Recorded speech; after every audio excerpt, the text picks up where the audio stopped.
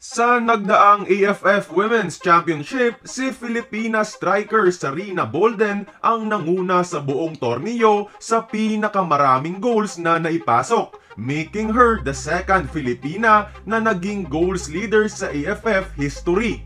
Sino nga ba ang unang Pilipina na nakagawa nito? Tara, kilalanin natin. Ako nga pala ang inyong ka-football and welcome to Striker Culture.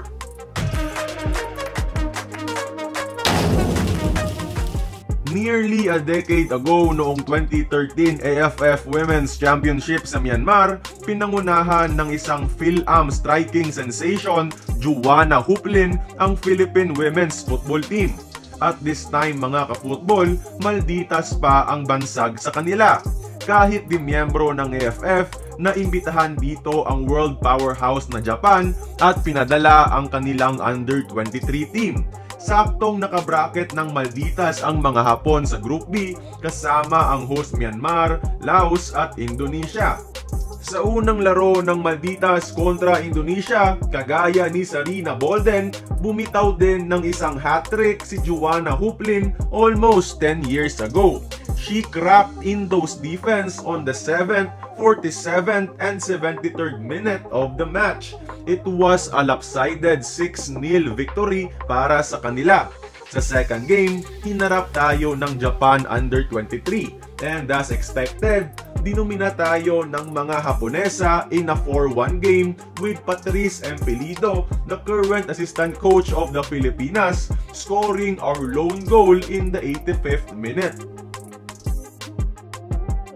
Myanmar naman ang sumunod sa third game at kinain nila ang Malditas sa kanilang teritoryo.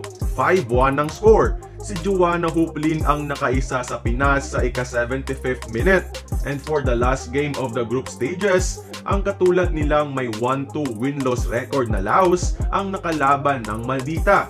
At umpisa pa lang, pinakita na ng mga Pinay kung sino ang mas nangingibabaw. Unang minuto, nabutasan na ni Huplin ang goal ng Laos keeper.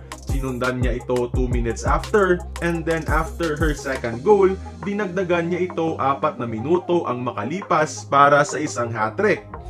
At bago matapos ang first half sa 31st minute, dinaig niya ang keeper for her fourth goal. Actually, dapat nga sobra pa sa apat ang goals niya kontra Laos. Kaso, di niya lang naipasok ang mga one-on-one -on -one opportunities kontra ang goalie. Nagtapos ang laro sa score na 7-2.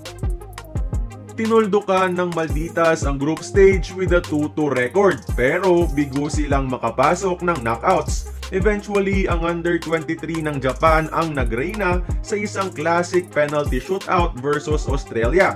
Despite that, si Juana Huplin pa rin ang tinanghal na leading goal scorer of the tournament with 8 goals. Ang sumunod sa kanya ay si Miyuki Takahashi na may 7.